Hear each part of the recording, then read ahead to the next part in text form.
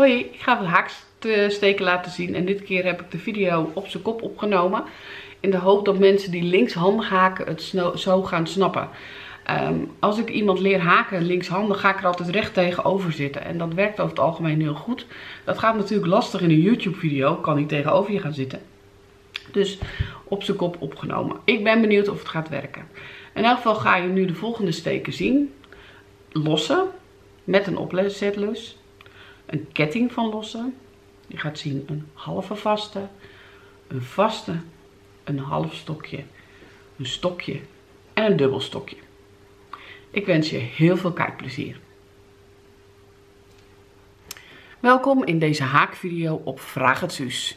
Je ziet me even niet in beeld, want het is handiger dat je mijn handen ziet.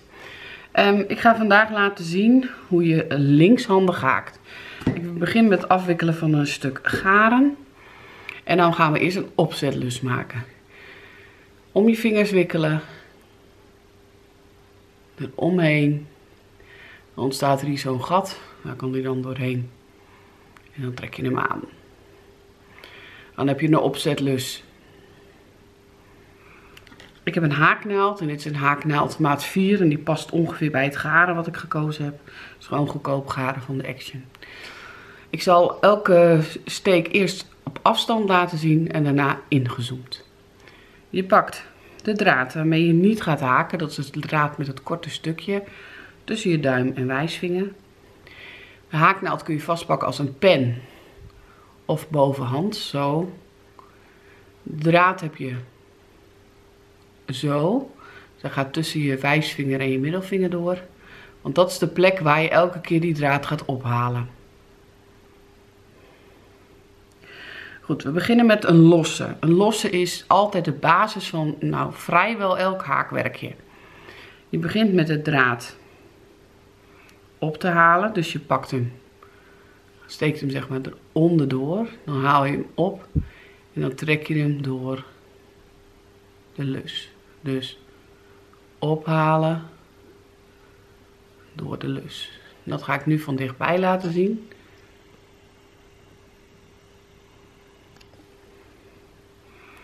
Dus ophalen en door de lus. De draad ophalen en door de lus. Ophalen en door de lus. Ophalen en door de lus. Nou, dit noemen we een ketting van lossen. En die kun je dus zo lang maken als je zelf wilt. Nou, als je er 20 wilt, dan haak je er 20. Wil je er 30, dan haak je er 30. Heb je er 150 nodig, dan haak je er 150. Het grootste aantal los wat ik ooit gehaakt heb was 465. Dat was voor een sprei. Het is dan wel handig om iets te hebben waarmee je de steken per 50 kunt markeren. Er zijn speciale markeersteekjes voor. Nou. Ik heb een rijtje losse aan elkaar gemaakt en dat heet dus een losse ketting.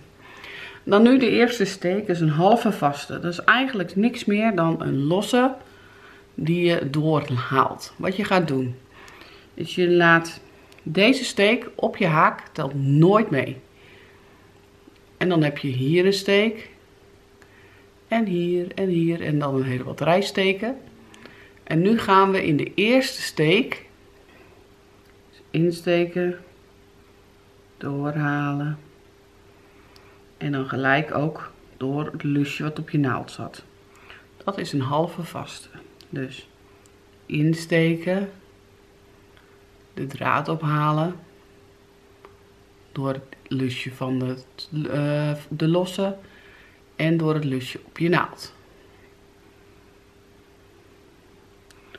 Dus insteken, draad ophalen en gelijk door de draad op je naald. Goed, dat kunnen we ook wat ingewikkelder maken. Dan heet het ineens een vaste. En een vaste doe je door hem in te steken, de draad op te halen. En dan heb ik twee lusjes op mijn haaknaald.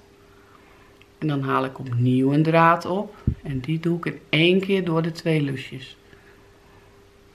Dus zoeken het volgende gaatje op. Dat is bij deze. Kijk, kun je het zien? Zie je dat? Hier komt een gaatje. Daar gaan we nu insteken. Dan halen we de draad op. En dan door de twee lusjes. Dus insteken door twee lusjes. Insteken, draad even ophalen. Hebben we twee lusjes, gaan we erdoor. Nou, dan kun je al zien, dit waren halve vaste. De vaste zijn al iets hoger. Gaan we naar de volgende steek. Die is ook heel makkelijk. Dus omslaan. Weer in zo'n gat steken wat hier zit. De draad ophalen. Dan heb ik ineens drie lusjes op mijn naald. Zie je dat? Eentje van het lusje waar je mee gehaakt hebt. Één van de omslag. En één van het draadje ophalen. En dan doe je een nieuwe draad ophalen. En die trek je in één keer door alle drie heen. Dus nog een keer. Omslaan, dan heb ik er al twee, hè? mijn lus en de omslag. Insteken, draad erbij ophalen. Moet ik even draad trekken. En dan doe ik opnieuw een draad pakken en die trek ik in één keer door alle drie heen. Nog een keer omslaan, insteken, draad ophalen, een nieuwe draad ophalen door alle drie. Dan zie je dat deze weer een slagje hoger is. Dit is een half stokje. De volgende is het hele stokje. Dan ga je omslaan. Je gaat hem insteken. Dan moet je even goed kijken waar hij moet. Dat moet hier. En dan ga je hem doorhalen. En nu komt de verandering. Nu ga je niet alle drie doen, maar je doet eerst door twee. En dan hou je nog twee lusjes op je naald over. Dan haal je een nieuwe draad op en weer door twee. Dus een draad ophalen. Door twee. heb ik er weer twee. Een nieuwe draad ophalen en weer door twee. Dat is een stokje. Dus omslaan. Kijken waar die moet. Draad ophalen. Dan heb ik er dus drie. Zie je dat? 1, 2, 3. Draad ophalen. Door 2. Draad ophalen. Door 2. Nou, gaan we naar de volgende.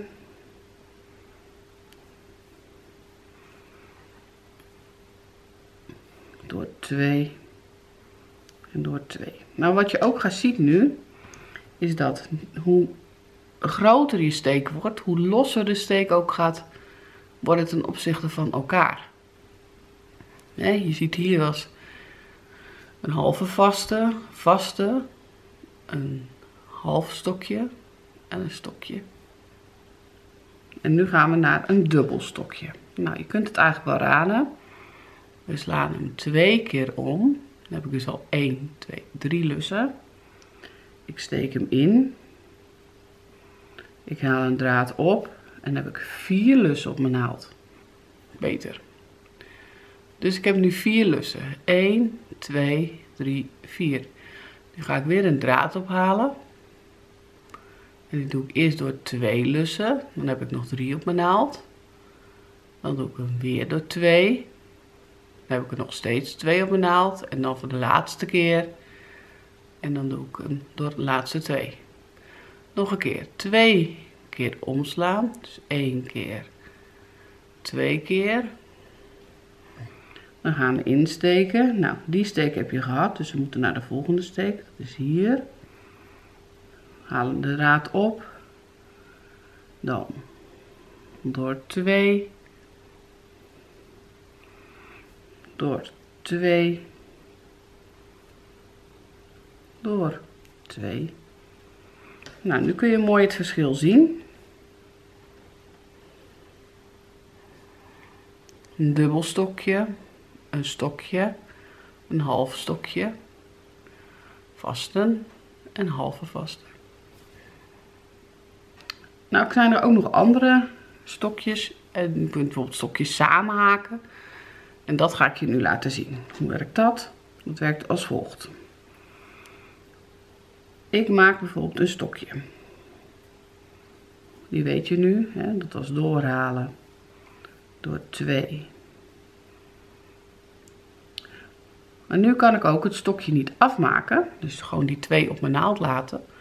Opnieuw een omslag doen.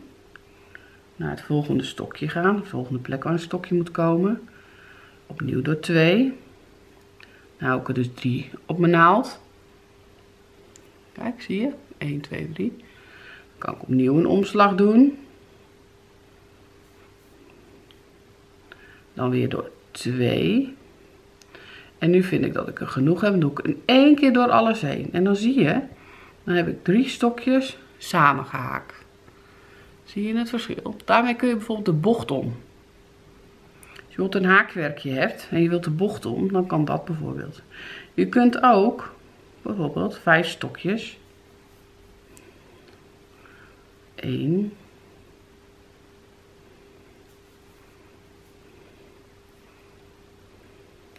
2.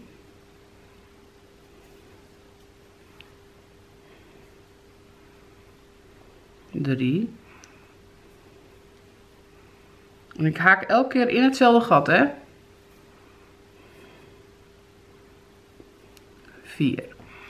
Als ik nu in één keer hier doorheen ga, dan zie je dat mijn haakwerkje automatisch de bocht omgaat. Zie je dat? Nou, zo kun je wel bochtjes haken. Nou, zo zijn er allerlei technieken. Maar dit zijn dus de basissteken. Dus we begonnen met een rij losse. Daarna de halve vaste, de vasten, de halve stokjes, de stokjes en de dubbele stokjes. En dan nog wat samengehaakte stokjes. Nou, dat zijn dus de haaksteken. En het is echt een kwestie van oefenen.